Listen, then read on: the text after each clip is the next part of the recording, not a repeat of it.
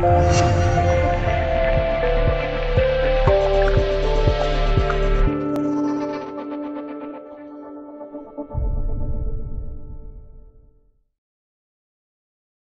在很多人都喜欢把自己的生活状态拍成视频，然后发到各种社交软件上去。正是通过这些，我们才能得以看到不同国家的人他们的生活状态是什么样子的。所以，通过这些，我们才能知道一些不熟悉的东西。比如，大家就很爱看我们周围这些国家人民的生活状态，比如韩国、印度这些。今天看到一个印度老奶奶做饭。感觉和其他看到的印度视频很不同。首先，他们选择做饭的场地还是在户外。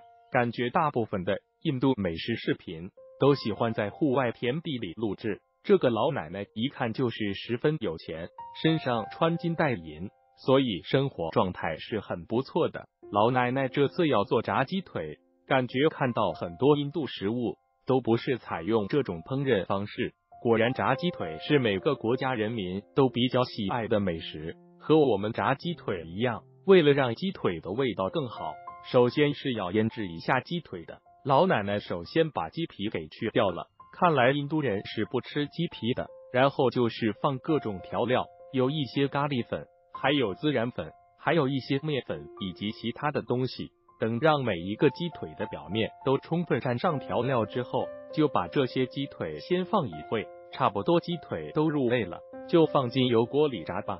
这个油锅看起来也是很大的，不像咱们家里的锅那么小。这里感觉一锅就能炸出几十个，可见锅是很大的了。等到所有的鸡腿都炸好，老奶奶就找来一个大叶子，把这些鸡腿都摆在了叶子上，再撒上一些叶子，就可以享用了。这么多，老奶奶一个人也吃不完。就又叫来了两个男士一起来吃，看他们一口一口的吃着，感觉很是满足。这个老奶奶做的食物看起来还是十分干净卫生的，而且是真的土豪，一次性就做这么多，不知道三个人能不能把这些都吃完，不然就是很浪费了。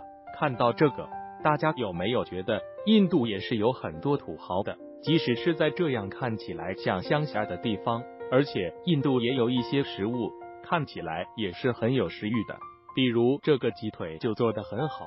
你们觉得这个老奶奶做的怎么样呢？是不是还是挺有食欲的样子？